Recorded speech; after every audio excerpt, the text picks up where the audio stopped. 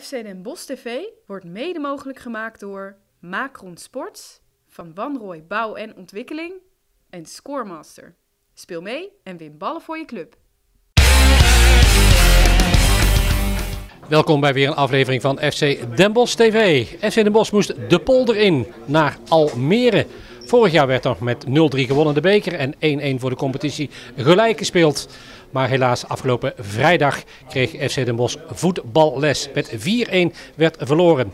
We kijken terug eh, met de beelden met Nieke Vossenbelt. Natuurlijk eh, Wiljan Vloed. En de enige doelpuntenmaker voor FC Den Bosch, Jordi van der Winden.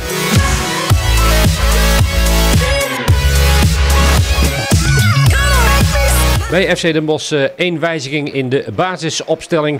Namelijk op de rechtsbuitenplaats stond uh, Brandon Robinson. En dat ging ten koste van uh, Arda Havar. Hier komen de beide ploegen in het Janmar Stadion het veld op.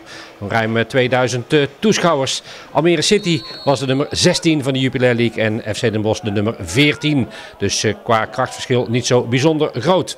Almere City begon natuurlijk meteen de aanval te zoeken. En hier al meteen een gevaarlijke kopbal van Rijsdijk op de lat. Onhoudbaar voor de keeper. En gelukkig uh, leverde dat geen doelpunt op. Maar Almere zette meteen flink aan.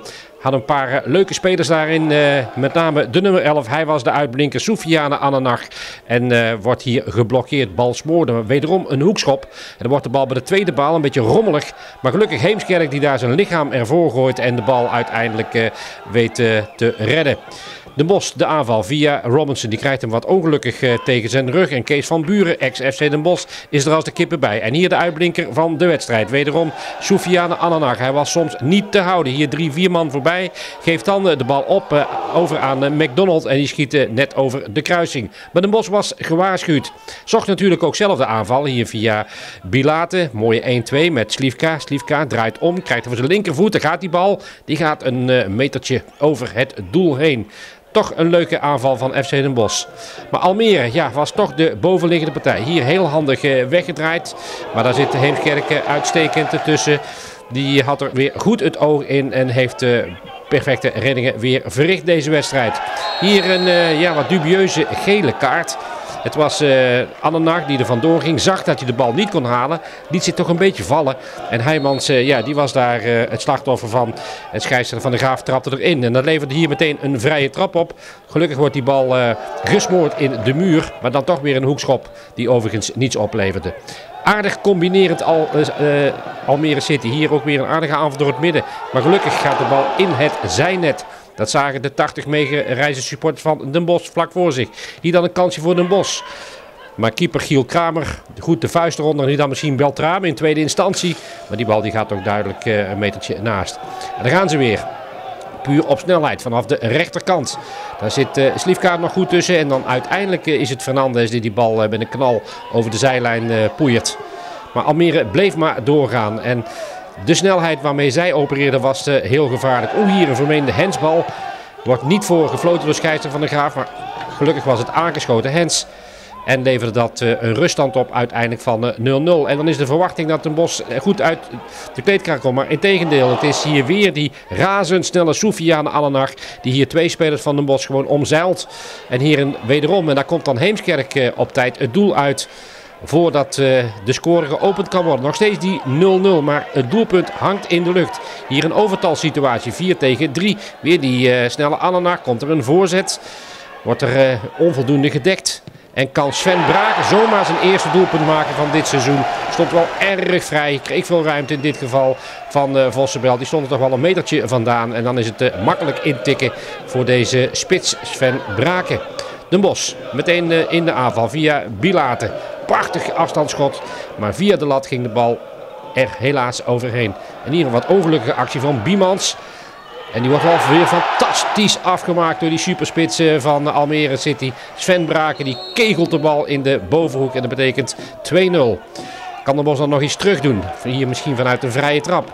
Maar het is weer Almere dat uh, voortdurend de overhand heeft en de Bos moest het hebben van uh, kleine aanvalletjes. Hier weer een kopbal uh, naar de buitenkant. En daar, daar is hij weer, die uh, nummer 10, een uitstekende speler, Adika. En ook hadden ze nog wat meer goede spelers zoals deze. Prachtige omhaal. En dan is het uiteindelijk de 3-0 Wat een fantastisch eh, doelpunt hier.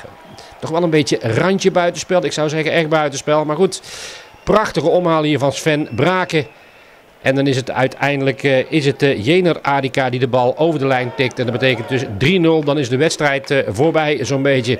De Bos ging nog wel door hier met Slivka. Keeper Kramer die redde daar fantastisch. Dan gaat de bal weer naar de buitenkant. Komt er dan weer zo'n mooie voorzet. Inderdaad. Nou, die krijgt erg veel ruimte hier. De Rick ten Voorde ingevallen spits. Heijmans moest daar twee man dekken en dat is er eentje te veel. Ja, dan is het natuurlijk voor Rick ten Voorde ja, een koud kunstje om die bal van een meter of drie afstand in de hoek te leggen. Kan de Bos dan nog een, een doelpuntje maken? De spreekwoordelijke eer redden. Ja, inderdaad. De invaller Jordi van der Winden door de benen van Kai Ramstein heen tekent hij voor de uiteindelijke 4-1 stand. Toch een uh, dikke nederlaag uh, voor FC Den Bosch. En hier nog een prachtige actie van uh, de uitblinker van de dag. Soufiane Ananag die hier daar Fernandes eventjes de hielen laat zien met een geweldige truc. Maar gelukkig staat Heijmans op te letten en tikt die bal weg vanaf de doellijn. En dan is de wedstrijd gelopen. Jack de Gier die geeft Wiljan Vloed de hand. Wiljan Vloed, 4-1 nederlaag bij Almere City. Daar had nou werkelijk niemand bij Den Bosch rekening mee gehouden. Nou ja, je houdt niet rekening mee. Je denkt, we hebben eindelijk eens een keer wat grip op het aantal goals wat we tegen krijgen. En weer in een uitwedstrijd krijgen we er weer zoveel tegen. Terwijl we tot uh, rust 0-0 houden. Denk je nou, de tweede helft, daar is Den Bosch over het algemeen uh, een stuk beter. En dan geef je binnen 10 minuten geef je de wedstrijd weg. Ja, je ziet in de 53e minuut dat we een rare actie gaan maken in aanvallend opzicht. Die hele achterhoede gewoon opengooien. Uh, volgens mij was de tweede een persoonlijke fout. Ik kan Bart hem gewoon wegwerken, schiet hem half tegen zijn eigen hoofd aan. De eerste geven we alle tijd in de 16. Dan mag je hier mensen mag een hoek uitzoeken. Dat, zijn kinderlijke fouten. Uh, de, manier waarop wij verdedigen is gewoon niet goed. Moet gewoon veel agressiever. Heeft volgens mij ook niks meer met tactiek te maken. Heeft gewoon met agressiviteit te maken. En het grootste probleem met balbezit vond ik dat we gewoon de meest moeilijke oplossingen zoeken. En daardoor ook gewoon niet goed kans krijgen. Kijk, we hebben de eerste 10 minuten hebben het moeilijk gehad. Omdat hun hebben twee spits gespeeld. Daarna hadden we de zaak onder controle. Hebben twee moeilijke momenten nog gehad. De eerste helft hebben we eigenlijk langzaam wat grip op de wedstrijd gehad. Nou, de tweede helft gooi je gewoon in één keer alles weg vanaf de 53e minuut. Toch miste ik een beetje de agressiviteit uh, bij de spelers. Dat zag je bij, uh, bij Almere wel. Snelle buitenspelers met rustig rondgespeeld achterin, maar dan op een gegeven moment op snelheid. En bij Den Bos combinatie, combinatie tot de 16 en verder kwamen we niet. Nou ja, ik weet niet welke, wat je dan precies bedoelt met agressiviteit in de afronding. Nee, maar gewoon ook op het middenveld met name zoveel duels verloren. Ja, dat, ja maar dat is iets anders. We hadden net over snelle jongens en snelle omschakeling. Dat is iets anders. Ik vond dat we, wij hebben meer kracht en meer power. Die hebben we totaal niet gebruikt. Ik vind dat we helemaal niet in de duelsfeer hebben gespeeld. Ik vind dat we gewoon in de zone hebben gespeeld. Over alle linies. Dat we niet met de kracht en power die we hebben, dat we die op geen moment gebruikt hebben. We zijn heel erg lief en zacht. Ja. En dan uh, zij wisten daar wel raad mee. Nou ja, je ziet gewoon zijn eerste rol en dan zakt het helemaal weg. De tweede is een persoonlijke fout. De derde een halve omhaal. Waarvan misschien nog een buitenspelsituatie. Ja, en de vierde is natuurlijk gewoon helemaal kinderachtig. Hoe je iemand tussen drie spelers nog kan draaien. Een vervelende nederlaag is dit, uh, Wiljan. Nou ja, het blijft vervelend. Hè. We hebben natuurlijk, uh, denk ik, uh, bijna drie goals per wedstrijd tegen. Daar kun je niet tegenop scoren. En dan hebben we vandaag ook niet veel kansen gehad. Laten we dat vooropstellen. We hebben nog één of twee mogelijkheden gehad. Maar dit, dat moet gewoon anders. Kijk, we moeten het doen met deze jongens. Maar, en ik heb ook alle vertrouwen in deze jongens. En die hebben voldoende kracht en power om dat anders op te lossen dan dat ze nu doen. Nick Vossenbelt, wat is het verhaal van deze wedstrijd? Ik denk dat wij het eerste kwartier moeilijk hebben. Ze hadden uh, spelen 4-4-2. Uh, is iets anders dan we hadden verwacht. We hadden eens even uh, omzetten, omzetting moeten doen. Daarna gaat het een stuk beter. Konden, konden vrij, uh, vrij goed opbouwen. Alleen tot 20 meter voor de, voor de goal van Almere het, ja, houdt het op. voorzetten die achtergaan. ballen die van de voet afspringen. Ja, zo ga je nooit goal maken. Wat mij zo opvalt is, als ik naar jullie training kijk, dan spat het enthousiasme ervan af. En als ik jullie hier zo zie shocken over het veld, ja, dan gaat het natuurlijk zo op deze manier niet lukken. Nou ja, daar heb je helemaal gelijk in. Heb je helemaal gelijk in. Op de training is het gevoel inderdaad heel goed. Uh, niveau, niveau goed. Alleen uh, ja, daar heb je, geen, heb je helemaal niks in als het in de wedstrijd niet eruit komt.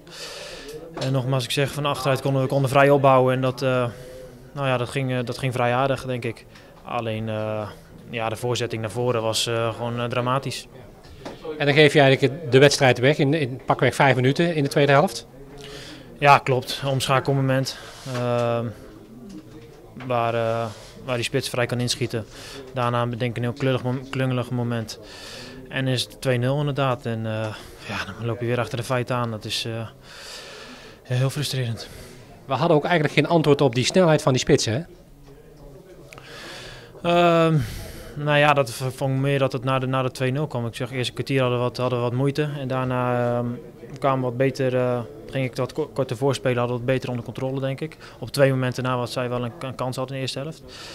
Maar eh, dat kwam vast vooral na de, na, de, na de achterstand dat we daar wat moeite mee hadden. Maar daarvoor eh, ja, vond ik niet. Toen was de wedstrijd min of meer gespeeld, hè? Na die twee doelpunten. Ja, dan probeer je nog, eh, dan probeer je nog wel eh, die aansluiting te zoeken. Alleen eh, ja, dan valt die 3-0. En dan weet je dat, eh, dat het wel heel lastig gaat worden. Ja. Uiteindelijk wordt het een eh 4-1 nederlaag, een dikke nederlaag, een oorwassing, mag je rustig zeggen. Nou ja, dinsdag tegen Eindhoven, ja, dan zal het toch wel moeten gaan gebeuren. Ja, klopt. eh, beker, eh, ja, dat, eh, ik zeg, mijn gedachten is daar nog niet echt met nu. Even niet naar de ranglijst kijken. Nee, nee, nee. Maar eh, wat wel fijn is dat we snel in de wedstrijd hebben om, eh, om dit recht te zetten. Dat is, eh, dat is wel prettig en, eh, en dat moet, want eh, dit kan niet langer. Jody van der Winden, 20 minuten voor tijd. Mag je nog je minuten pakken? Ja, klopt. Ja, maar goed, wat kun je nog in 20 minuten doen terwijl je met eh 3-0 achter staat? Ja, ik probeer mijn best te doen en eh, ja, dat ik een doelpuntje mee kan pikken. En dat lukt hè? Ja, Vertel eens, hoe kwam het doelpunt tot stand? ja Arda gaf een bal en eh, ja, de voorzet. En uh, ja, hij heeft niet goed weggewerkt, neem hem aan en ik schiet uit de draai. Ja, ik denk dat de keeper hem uh, ja, misschien te laat ziet of niet verwacht, maar ja, daar gaat het niet om, hij zit. Toch lekker dan zo'n persoonlijk succesje. Ja, zeker. Ik, uh, ja, natuurlijk, ik, ja, jammer dat we er niks aan hebben, maar ach, ja, de, kunnen er tevreden mee zijn met uh, een doelpuntje.